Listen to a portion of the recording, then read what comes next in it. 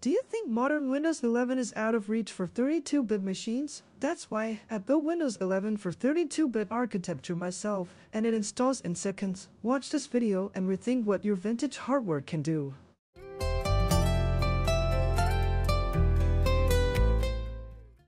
Microsoft never made a 32-bit version of Windows 11, so I did. It runs on all PCs they gave up on. I'm Neel from Harbor of Tech. Like and subscribe if you want to bring your x86 machine back to life. Let's get into it.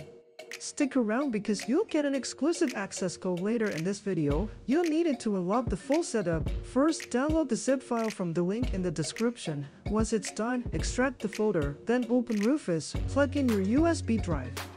Select the ISO file from the extracted folder and click Start. The process will take around 10 to 15 minutes depending on the speed of your USB drive. After that, you're ready to install Windows 11 32-bit on any old x86 PC. Once your USB is ready, restart your PC and boot from it. You will be greeted with the Windows installer. Start by selecting your preferred language, time and region settings, then follow the same steps I show you in the video. If you have a genuine Windows key, Enter now. Any valid Windows 10 or Windows 11 key will work without issues. When you get to the partition screen, slow down and double check your drives. Make sure you are not deleting anything important by mistake. After you confirm the partition, the installation will begin. On most systems, it should take just a few minutes to complete, depending on your hardware. Now that you're installing Windows on your old PC, you're probably wondering how to get the most out of it. To really maximize your system's performance, I recommend giving Velotic a try. It's a tool I've spent years developing specifically to optimize PC performance and enhance your gaming experience.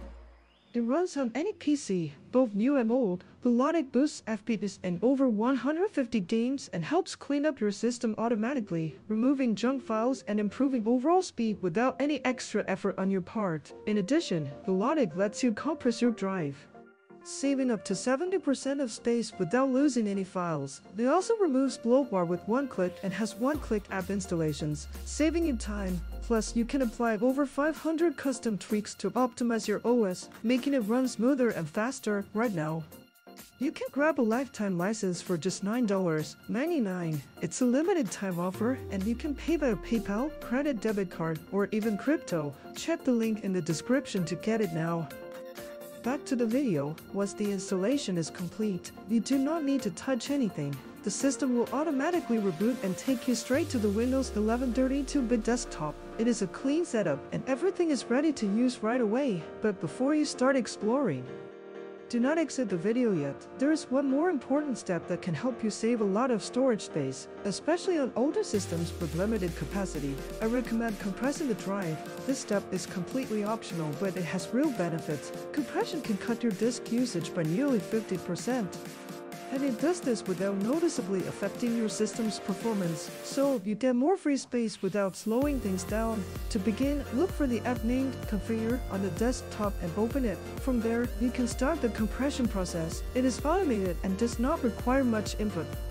Depending on your hardware, it might take anywhere from a few minutes to a few hours. But do not worry, you can continue using the system normally while the compression runs in the background.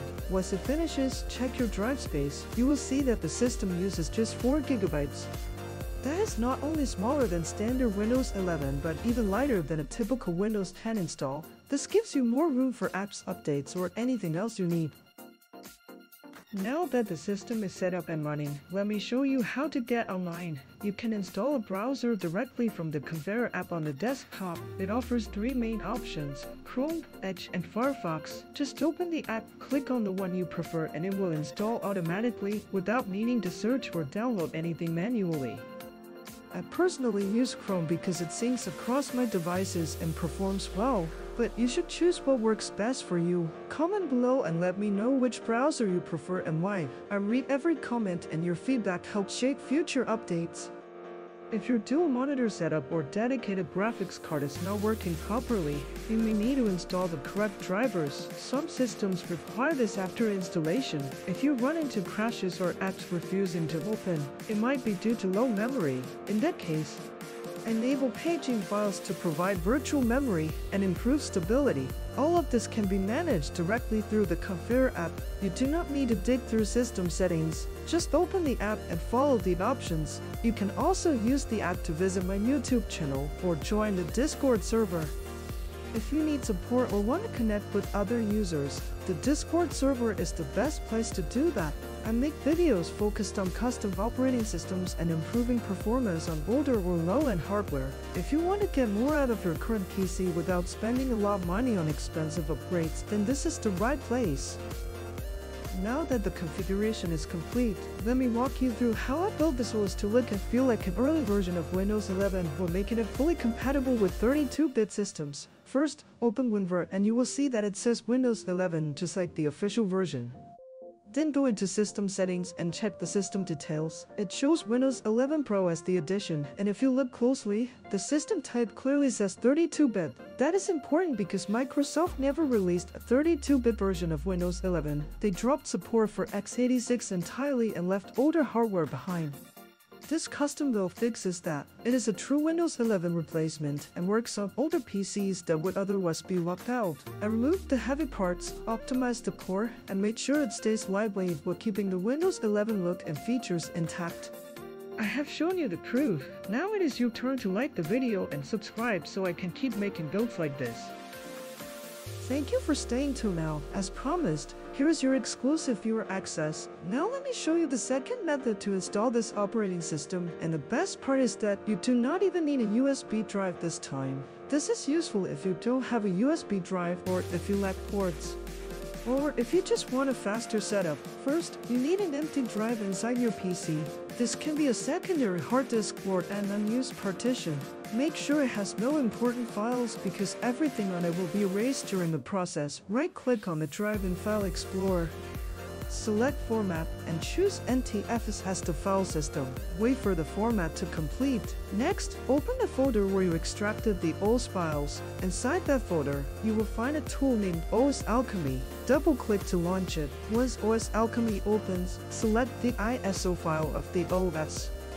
Then it will ask you to pick a target drive. Choose the one you just formatted. After confirmation, OS Alchemy will begin copying files and setting up the bootloader. This would take anywhere between 5 to 10 minutes, depending on how fast your drive and CPU are. When it finishes, restart your PC. This time, you will see a dual boot menu on startup. Hit the new OS from the list. The rest of the installation is exactly the same as I showed you earlier in the video, around the 2 minute and 50 second mark. If you need to review it, Feel free to rewind and watch that section again. Take your time, follow the steps carefully, and everything should work smoothly. Thanks again for sticking around. More useful content is coming soon. This is Harbor of Tech signing off.